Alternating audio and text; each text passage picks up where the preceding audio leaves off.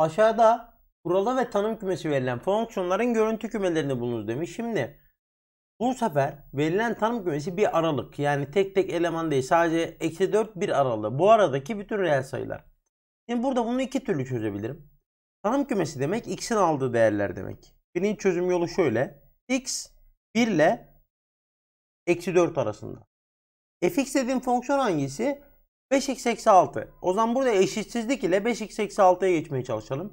Her tarafı 5 ile çarpıyorum. Eksi 4 çarpı 5. Eksi 20. 5x 1 çarpı 5 5 oldu. Daha sonra her taraftan 6 çıkaracağım. Eksi 20 eksi 6. Eksi 26. 5 eksi eksi 6. 5 eksi 6 eksi 1. E bu zaten bana fx'i verdiği için 5x eksi 6. Bu x değerlerine göre fx neymiş? Eksi 1 ile eksi 26 arasında. E bu zaten fx'in görüntü kümesi oluyor. O zaman görüntü kümem ne oldu? Eksi 26 eksi 1 kapalı aralığı. Burada tabi e, sınırlar dahil olduğu için görüntü kümesinde de sınırlar dahil oldu.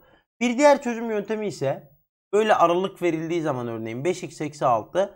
Şimdi bu ya artan ya azalan doğrusal olduğu için ya artan ya azalan olacak. Zaten değer verdiğim zaman buna artan olduğunu görebilirim. Sınır değerlerini yerine yazıyorum. f eksi 4. 5 çarpı eksi 4 eksi 6 eksi 26. Sadece sınır değerlerini yerine yazıyorum. f1 5 eksi 6 eksi 1. Yani bu şu anlama geliyor. Bu fonksiyon doğrusal fonksiyon olduğu için ya daha doğrusu yani doğrusal fonksiyonu doğrusal olduğunu bilmeye gerek yok. Birkaç değer yazdığım zaman bunun artan olduğunu görmek daha kolay. O zaman burada eksi 26 en küçük değer eksi 1 en büyük değer. Bu aralıktaki bütün değerleri aldığı zaman görüntü kümem eksi 26 eksi 1 olur. İkinci soruya geçtim. Yine burada yapacağım şey sınır değerlerini yerine yazmak. Çünkü bu da yine sadece eksi terim var. Bu ya artan ya azalan bir değer olacak zaten.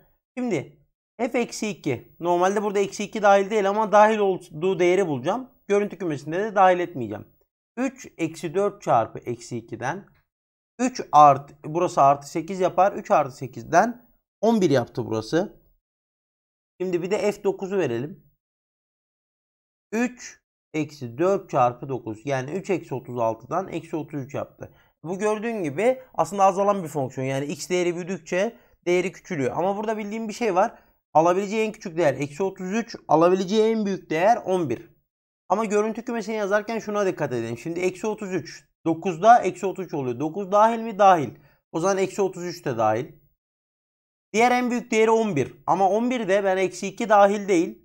O zaman burada 11 de dahil olmayacak. Eksi 2 dahil olsaydı 11 de dahil ederdim. O zaman eksi 33 11 aralığı olur benim görüntü kümem. Eksi 33 dahil 11 dahil değil diyebilirim. Geçtim 3. soruya. Burada yine eksi 3'ten 1'e verilmiş 1 eksi x bölü 2. Bu da doğrusal. Yani bölü 2 olması bir şeyi değiştirmiyor. O zaman burada şöyle bir şey yapacağım. Yine sınır değerlerini yerine vereceğim. Yani burada x eksi 3 ile 1 arası değil 1 eksi x bölü 2'yi de bulabilirim. Ama sınır değerlerinden gitmek daha kolay birinci dereceden olduğu için. f eksi 3 eşittir 1 eksi eksi 3 x yerine eksi 3 yazıyorum bölü 2. Yani 1 artı 3 4 bölü 2'den 2 yapar. f1'i bulalım. Diğer sınır 1 ama 1'i dahil etmeyeceğiz tabi. E, f1 de 0 yapıyor. 1 eksi 1 bölü 2'den 0. O zaman benim görüntü kümem alabileceğim en küçük değer 0 ama 0 dahil değil. Neden dahil değil? Çünkü 1 dahil değil burada. En büyük değer 2. 2 dahil çünkü burada eksi 3 dahil. 0-2 aralığı 0 dahil değil 2 dahil olacak. Dördüncü sorudayım. Şimdi bu dördüncü soruda şuna dikkat edelim. Bu yanıltıcı e, bir soru. Çünkü burada x kareli terim var. Diğerleri gibi x'li terim yok. Burada şöyle düşünebilirim aslında. x eksi 3 ile 1 arasında ya. Burada normalde sınır değerlerini yazacağım. f eksi 3 nedir? Eksi 3'ün karesi artı 1 eşittir 10. E diğer sınır değeri f1 f1 1'in karesi artı 1'den 2. İşte burada yanıltıcı olan nokta şu. İkinci dereceden olduğu için bu ifade en küçük değer 2 en büyük değer 10 değildir. Çünkü neden? Eksi 3 ile 1 arasında 0 var. 0'ın karesi de 0 olduğu için aslında en küçük değerim f0 0'ın karesi artı 1'den 1'dir. Burası önemli. Yani burada kare olduğu için burası yanıltıcı olabilir. Şu kareye dikkat etmek lazım. Burada alabileceği en küçük değer 2 değil 1'dir. Arada 0 var çünkü. Doğru mu? Ya da bunu şöyle yapalım. Şimdi x değeri 1 ile eksi 3 arasında. Doğru mu? Eksi 3 ile 1 arasında. E buradan x kareye geçersem x kare eksi 3'ün karesi 9 alabileceği en büyük değer eşitlik olduğu için dahil ama alabileceği en küçük değer 0. O zaman 0-9 aralığı olur. E her tarafa da 1 eklersem 1 x kare artı 1 10 olur. Yani x kare artı 1 zaten fx olduğu için fx'in görüntü kümesi 1-10 kapalı aralığı oluyor. O zaman görüntü kümesi 1-10 kapalı aralığı. İkinci yol daha sağlam. Tabi buradan yaparken özellikle eğer birinci dereceden değilse, eğer bu birinci derecedense doğrusal olacağı için sınırları yazmam yeterli benim için. Ama birinci dereceden değilse ikinci, 3, 5 ya da neyse işte birinci dereceden olmadığı zaman özellikle karelerde sıfırda kontrol etmek lazım. En küçük değeri genelde bu sıfırda alır. Çünkü x kare en az sıfır olabilir. O yüzden 1, 10 e, kapalı aralığı oldu görüntü kümem. Ve geçtim 5. soruya. Bu sefer eksi sonsuz 3'ten reel sayıları demiş fonksiyonum için. Şimdi burada eksi sonsuz 3 demek x küçük 3 demek. Bu tanım kümesi için. x küçük 3 ise şimdi eksi 2x artı 4 4 eksi 2x her tarafa eksi 2 ile çarptım. Eksi 2x büyük ne olacak? Eksi 6. Yani eksi, eksi ile çarptığım için eksi 2 ile çarptığım için eşitsizlik yön değiştirdi. Eksi 2x büyük eksi 6. Şimdi her tarafa 4 eklerim. 4 eksi 2x büyüktür 4 eksi 6 eksi 2.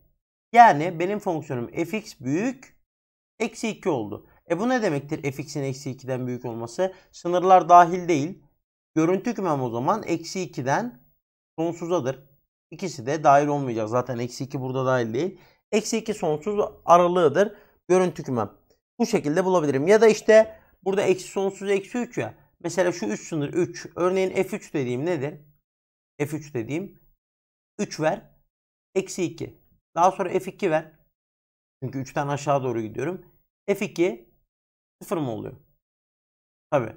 2 verdim 0 oldu. Tabi aralıkta bir sürü reel sayı olduğu için eksi 2 bütün aralıkları alırım burada. Mesela 3 yerine 2.99 999 vereyim. Eksi 2'den biraz küçük bir şey elde ederim. Yani burada mesela F1 verdiğim zaman 2. Gittikçe değerim büyüdüğü için eksi 2'den artı sonsuza doğru gidiyorum demek bu. Yine aynı sonucu bulabilirim. Bu kazanımı da bitirdik. Şimdi diğer kazanıma geçebiliriz.